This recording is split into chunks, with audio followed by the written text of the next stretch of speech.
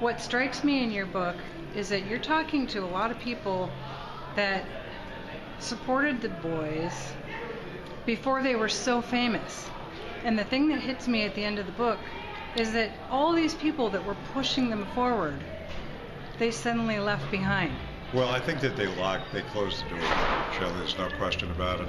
When they closed the door, they locked it tight. Uh, I'm not suggesting in any way that they forgot about those people, but life goes on. They have their own families, they have their own situations. But I do believe that history, not necessarily the guys, but history has forgotten a lot of these people. People like Bill Harry, people like Sam Leach, uh, people like even Alan Williams, who was a bit of an opportunist in the beginning. Uh, people uh, like uh, Freda, Freda Kelly, who uh, made this wonderful movie, and finally they realized they had to give her a hand and get her some music for it. You know, I think that these are people who were very quiet, didn't go about, you know, promoting themselves. They didn't really care about that. All they really wanted to do is to make them successful. And there's no question in my mind that there are no regrets. I mean, if you look at Bill Harry and his wife, they're having some, you know, difficulties later in life, medical issues, things like that. But they're still in love with each other. They have a great son. They are very proud. Uh, the problem is that Bill Harry, as we say in America, can't get arrested in Britain for his knowledge. You know what I mean? Right. Uh, Alan Williams is a bit of a character. Sam Leach, I think, is, is just a fascinating, charming man. In fact, there's a movie being made about him now, and uh, friends of his are making a movie. And the most the most interesting part of it all to me is that all these people get together and they talk and they have their own society and their own fraternities. Uh, so I like that. I also like the fact that uh, Pete Best is finally being recognized, uh, not necessarily as the man who pushed the Beatles to success, but who played a role in it. There's no question about it. I mean, he, he was kicked out of the band one year and a half before I met them for the first time. Right. And so, you know, all these people and the people that cared about Paul, his family, uh, the people at Litherland Town Hall, the young promoters I mentioned, many of them are still around. Sir Ron Watson is probably a person you never heard of, who was a law clerk and, and saw them at the at the cavern 400 times, and a person who will say to you today, the band was better with Pete in it. It's just his Oh, opinion. right. And he Yeah. used to plunk down 20 cents and get his hot dog or whatever the else they served there, or Coca-Cola. Yeah. Uh, these are people, and and and uh, um, Ron Ellis, who is somebody nobody in America knows. Ron is a guy who uh, is a soccer writer and a Beatles biographer of sorts, who bought them their records. He brought them their 45 records to listen from the boats. He would go down to the dock and get the music for them. Mm-hmm. And he loves them. He loves talking about them. He can tell you stories about meeting them in the locker rooms. And so all these people all have a society that gets together. They take care of each other. They remember their birthdays. When Alan Williams turned 80 a couple of years ago, who threw the party? Freda Kelly. Oh, is that right? Yeah. Wow. So how did you decide to do this book? You've written Ticket to Ride about their their tours that you were a part of. Then you did Lennon Revealed, which identified John Lennon as a man, and you went into that.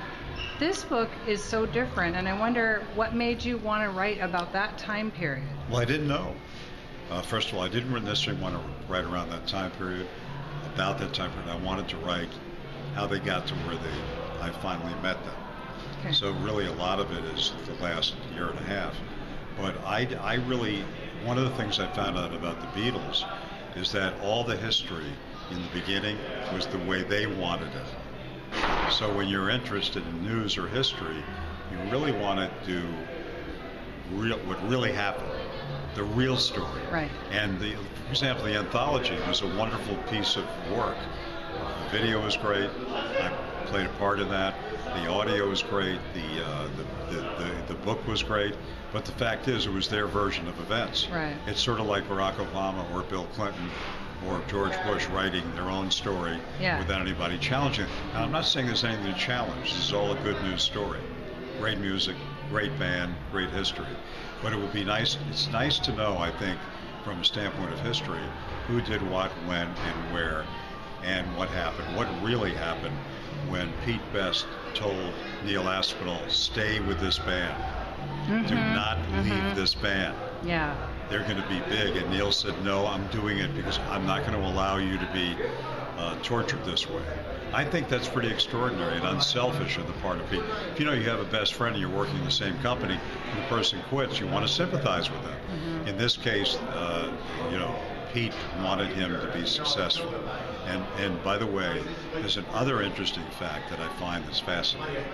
Pete Best was kicked out of the band 52 years ago. A couple of years ago, Neil Aspinall died. Mhm. And I know that John, I mean that Paul and uh, Ringo paid their respects, but they did not go to the funeral. Now, who was at the funeral? Paul's family was there. Okay, his whole family. Yoko was there. Olivia Harrison was there, and uh, and Barbara Bach was there. Okay, they all came because this is. Neil Aspinall. This is the guy who ran their empire for decades. But Paul and Ringo did not attend. It's a private service. Did not attend it. Who else was at this funeral? Pete Best and his entire family, and Roag, his brother, who is Neil's son. Yes.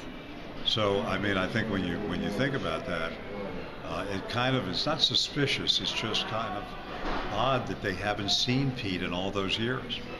Yeah. They've never seen him. Yeah. Not at all. And I'm not putting them down. They have their own lives. Certainly, Paul has had his own aggravations, and people have their own ways of doing things. But uh, it was kind of odd. Do you think that there's some uh, leftover animosity? Do you think that that was why they didn't want to go, or do you think they were embarrassed, or why? I don't why think they're you? embarrassed at all. I think that number one, they probably didn't want to make a fuss over their friend's funeral. Number two, um, I think they may have been uncomfortable about seeing Pete again. Yeah. And you know something? 52 years is a long time. To be uncomfortable. You have divorced fa- parents who go to funerals. You have people who used to be married to people who go to funerals. I'm not suggesting they paid any disrespect. What I am saying is it's a little odd. I mean, Yeah. you know, how about, hey Pete, how you doing? How are right. your grandchildren? Right. You know. Yeah. So I'm, I'm not putting them down, and I, and I don't think this. Certainly, believe me, the people I've met in my life and I've covered, four Beatles, were as good, pure, as quality human beings you'll ever find. Right. We were talking earlier about You your. go. Go ahead, Chi. You, you, I can edit. Go you ahead. can edit. How are you? Uh, about Julia Baird and your conversations with her. Tell me a little bit about I your love meeting her. I felt, first of all, she has John's face, and she has his eyes, and she has that sort of Lennon intensity. Uh, there's, there's a little bit, I don't mean to put Julia down for this, but there's a little bit of uh, emotional trauma in the, in the Lennon eyes. Okay? And I mean that in a nice way. Uh, but she was so nervous about, she thought I was going to uh, toe the company line that uh, her mom was a bad person. And actually, I found out a lot about her mom from her. Mm-hmm. And I would have liked to have known both her and Mimi, but I never did. Mhm. And I, because I think that obviously it's a great dynamic in that family. Right. And uh, the dynamic was, uh, as Mimi was allegedly running through the bombs, which apparently weren't falling, and she was going to the hospital where John was born, she was telling everybody, "This is the one I've been waiting for."